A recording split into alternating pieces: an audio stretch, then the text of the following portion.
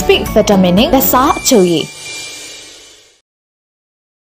တောင်တရုတ်ပင်လယ်ထဲမှာတရုတ်ကပိုင်ဆိုင်ကြောင်းကြီးညာထားတဲ့ကျွန်းစုတွေနားကနေအမေရိကန်စစ်သင်္ဘောတစ်စီးဖြတ်တန်းခုံမောင်းခဲ့ပါတယ်။ပဲ့ထိန်တုံးတက်ဖြတ်သင်္ဘော USS Russell ရဲ့ခရီးစဉ်ဟာတောင်တရုတ်ပင်လယ်ပြင်ရဲ့လွတ်လပ်တဲ့ရေကြောင်းသွားလာမှုကိုထင်ဟပ်စေတယ်လို့အမေရိကန်ရေတပ်ကကြေညာခဲ့ပါတယ်။သမ္မတဂျိုးဘိုင်ဒန်လက်ထက်မှာအမေရိကန်ဟာ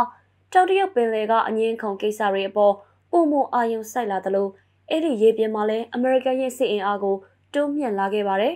။အခုသတင်းပတ်ခရီးစဉ်မှာတော့ USS Russell ဟာ Spratly ကျွန်းစုတွေနဲ့ရေမိုင်12မိုင်အတွင်းကနေခုံမောင်းသွားခဲ့ပါတယ်။တရုတ်ဟာအဲ့ဒီကျွန်းစုတွေအပါအဝင်တောင်တရုတ်ပင်လယ်ပြင် area တစ်ခုလုံးနီးပါးကိုပိုင်တဲ့နယ်မြေဖြစ်သတ်မှတ်ကြေညာထားတာကြောင့်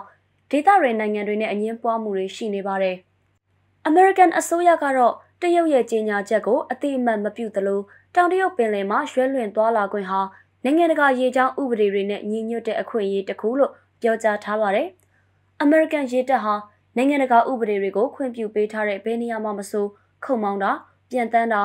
စစ်ရေးလှုပ်ရှားမှုတွေရှိနေမယ်လို့လည်းထုတ်ပြန်ခဲ့ပါတယ်။ USS Russell မတိုင်ခင်မှာ USS John S. McCain စစ်သင်္ဘောကလည်းလွန်ခဲ့တဲ့12ရက်လောက်မှာတရုတ်ပိုင်းလို့ကြေညာထားတဲ့ Paracel ကျွန်းစုနာက ဖြတ်တန်းခုံမောင်းပြခဲ့ပါသေးတယ်။အဲ့ဒါပြင်အမေရိကန်ရဲ့အစွမ်းထက်ဆုံးရေရင်တွေလို့သတ်မှတ်ရမယ့်လေယာဉ်တင်သင်္ဘောကြီးနှစ်စီးဖြစ်တဲ့